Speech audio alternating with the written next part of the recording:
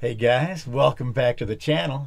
We have the famous Jim Brown, the designer of the Windrider 17. We're going to go through all his thoughts here, and, and uh, we're going to go over the design, the how the origins of the Windrider 17. We're actually sitting in his Windrider 17 right now. It's the, the turtle, Box turtle. the box turtle. But we're going to sit down. We're going to discuss uh, the origins, the design, what was bad, what is good. And Hey uh, guys, my name's Ziggy, and I'm out boat camping the barrier islands of the Gulf of Mexico. So jump aboard, because I'm going to take you bastards sailing. Hey, what's the next one on? steering at speed. Oh yeah, we covered that. All right, I thought so. Cracking, Yeah, cracking. Go right. at What you're talking about with the holes is cracking. yeah. So uh, uh, there, there's a lot of there, a lot of difference between different formulations of polyethylene, which is what these things are made of. Right.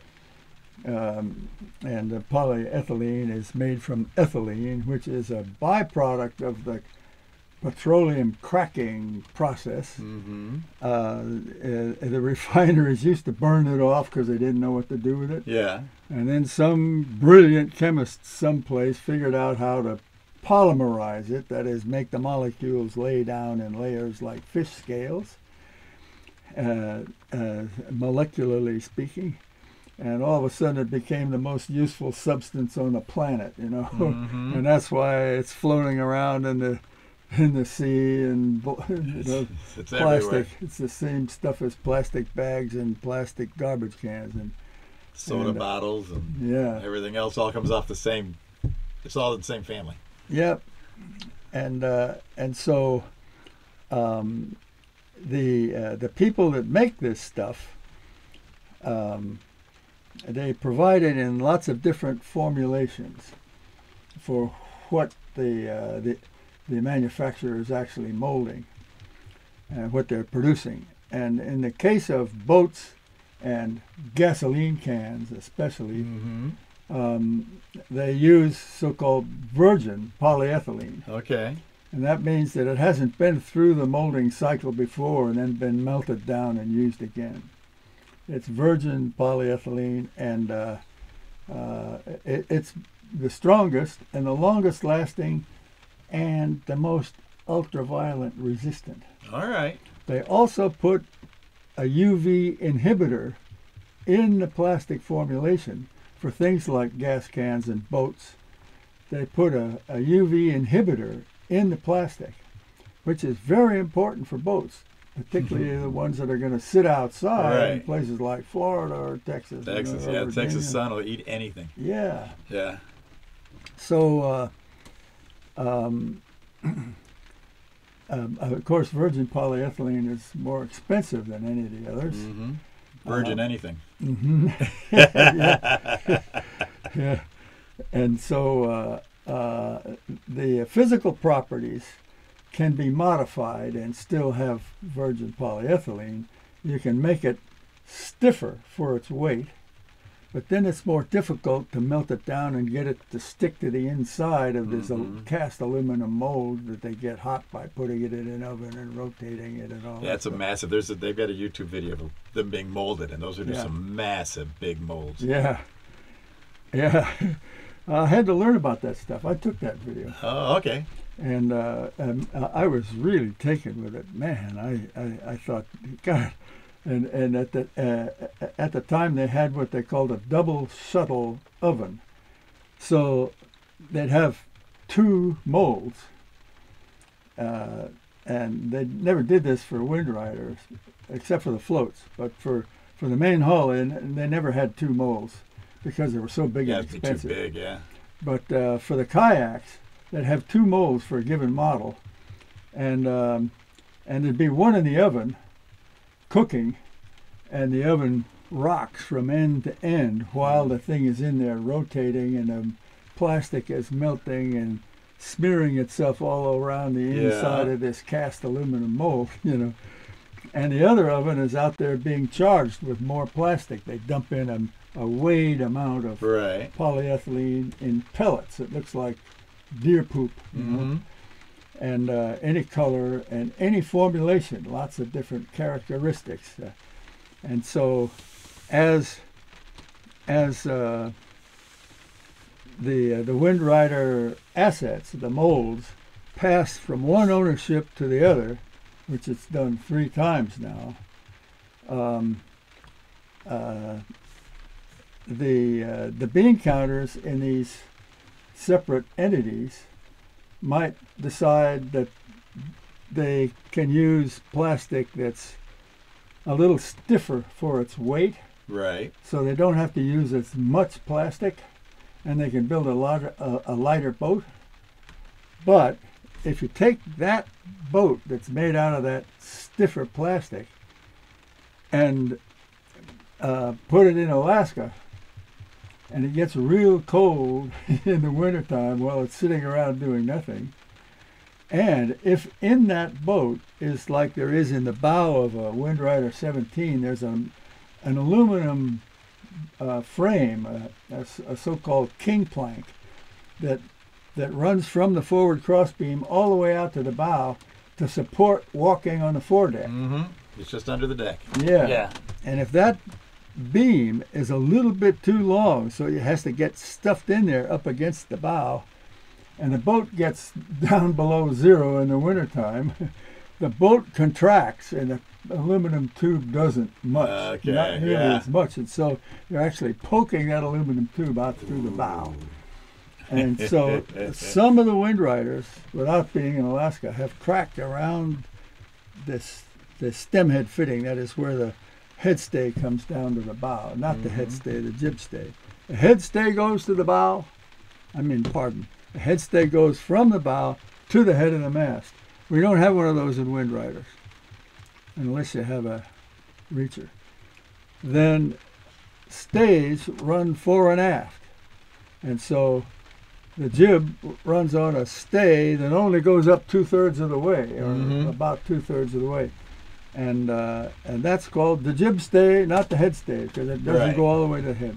So stays run fore and aft, shrouds go sideways, and uh, athwartships out to the to the rails, and so all of this sailor talk stuff that sailors use uh, so blithely uh, becomes unintelligible to uh, a lot of our clientele. Yes. You know, these boats have been bought by people who normally wouldn't have one. They just look at it and say, "Hey, that looks like I could sail that one." You know, who's got these floats on it. Well, it's exactly So that's the like my people ask me on my videos why I don't use port or starboard. I, I do everything in like people someone that's never been on a Yeah. boat would call it. That's because most of the people watching my videos don't know that language. So Yeah, it's I keep it keep it simple. Yeah, Anyway, so yeah. So, um, uh, the uh, cracking can be repaired. We've also had cracking in the 16 footers where the molded in portion of the cross beams protrude out through the plastic. They crack around that place where the plastic is wrapped all molded all the way around the the the, the, the main crossbeam center portion of the tube where it comes out of the of the plastic. We've had cracking there and there. My Windrider cracked in all four places. oh wow. It doesn't matter. Don't worry. It's going to be okay. You don't have to repair the 16 at all, All right. unless you want to fill the cracks up with something so that they don't look cracked. You Right. know, You, can do that if you want to, but it doesn't matter. Yeah, okay. And uh, uh, I, I, I don't know. I, we should have Mike McGarry here to talk to him. He's had cracking in other places, um, but he's fixed it with fiberglass and G-Flex. Okay.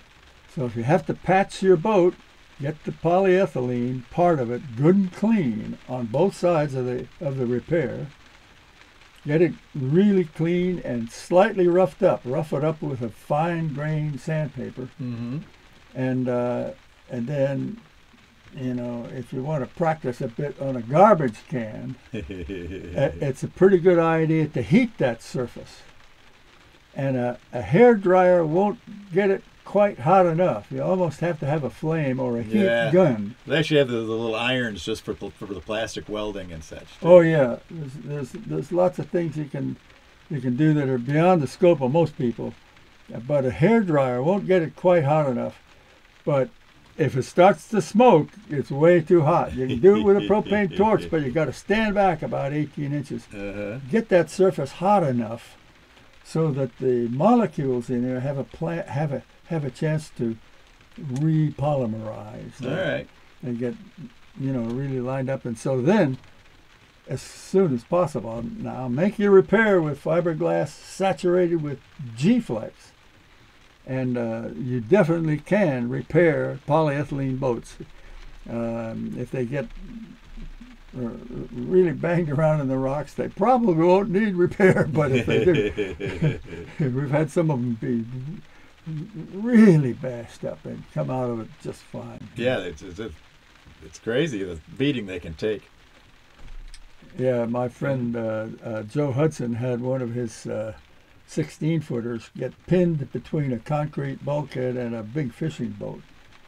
And the fishing boat was a big thing, you know, and it it squeezed the boat from the sides so hard that it bent the cross beams down, and it didn't damage the hulls at all. okay. I, I had a crossbeam bend once, Really? and I took it to a, a muffler shop, and they had a car on a lift. They just lowered down on it and just until it's flattened out straight to the cement and went right back in and go. Yeah, I took it to Midas. Midas took care of it. Look at it, floats leaking. Oh yeah, on the list. Yeah. Uh, yeah, we've had uh, trouble with the float hatches leaking. Those little screw-out ports Yeah. in the floats. If you find water in the float, it's probably not coming in around the crossbeams. where they. Right. Well, I, I get water. Yeah. Yeah. Okay. Well, open up that thing, and butter it up good on both sides, both both the thread in, the thread in and the thread out portion of the thing. Butter it up with uh, Vaseline Oh, all right. and screw it back down in there and wipe up. And then you need a little spanner. It's properly called a spanner. Just a stick of wood about eight inches long with, uh, let's say it's a, a one by two, Yeah. about eight inches long. And it's got a couple of screws screwed into it that stick out just far enough so you can lay that thing down on the hatch cover and the screw heads will protrude down into the Give you the leverage. and now you can get it good and tight, or you can get it off. I'm gonna you have to build one of those. Know, Sometimes I just got to be little tap to get it going. Well, I've got one of those around here someplace. I can't reach it right now. so um, uh, that's it's easy to fix that leak, but it's not easy to drain the floats with through the drain plugs if the boat's on the trailer, yeah. uh, because you've got to get the bow way up in the air, Yes. And you can do that by unhitching from the vehicle Mm-hmm. and Just if you've got something like a step ladder or something, you can stick it under the tongue of the Right. trailer in order to It'll get the floats out. to drain. Yeah, the older ones, my old one's got the drains, and the new one doesn't. They quit putting the drains right. in They at some the point. drains yeah. out. Yeah. It must have been. I figured it must have been a cost-saving situation there. Uh, it's because they didn't know how to. That, that thread at the drain plug has to be put in after the molding is done Mhm. Because you couldn't get the mold out of Right. that hole, huh? So it had. Had and have. A, a hot tool you put in there yeah. to form the threads for the drain plug, and the new molders didn't know how to do that, and so they were toasting boats. They'd Okay. screw it up, Mess it up. Yeah. and uh, so some of the some of the problems are, are in production. So they just decided not to not to have drain plugs. Oh man, what a problem that is! You got to pump the water out of Oh every yeah, hole. yeah, yeah. Oh, jeez. But uh, a, a little pump will work for the floats. One of those short plunger type pumps will work for the floats. Yeah, little float. kayak pumps. yeah. That's what I do with it.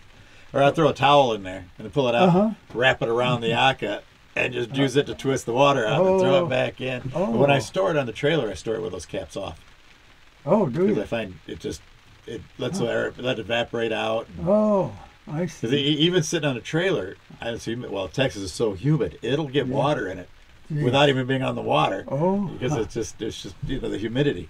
So someone someone had mentioned to leave those caps off, and since I do that, I don't have that problem when I'm storing it. really. But uh, Really? Well, uh, if I did that here, I'd have raccoons living in it. that is true. That is true.